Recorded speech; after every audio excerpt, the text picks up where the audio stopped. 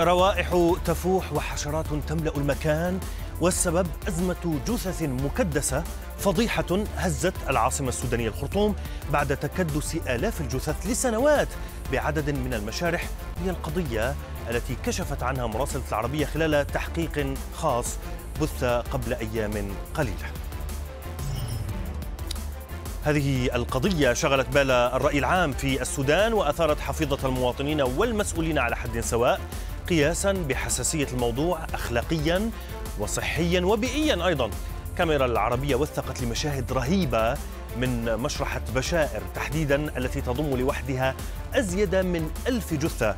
مشاهد أظهرت آلاف الجثامين مكدسة فوق بعضها بل وإن بعضها أجلس على كراسي بحسب إفادات مراسلة العربية في التقرير السابق. دعونا نستذكر جزءا منه. من يرى منظر الجثامين المكدسة.